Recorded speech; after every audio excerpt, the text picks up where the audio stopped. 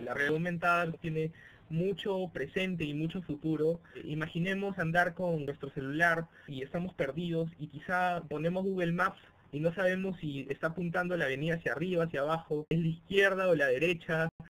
No, no sabemos a veces si nos confundimos con el mapa.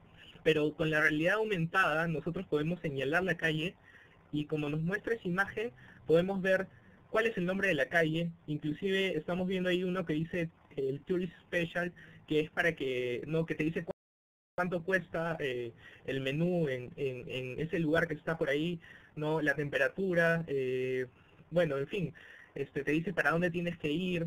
Inclusive hay aplicaciones de realidad aumentada que se están usando en París eh, que tienen como, como especie de, de R-spots en los que tú apuntas el celular a ese R-spot y te dice cuáles son las rutas del bus, las rutas del metro, pero casi toda la ciudad de Londres ya está cubierta por realidad aumentada.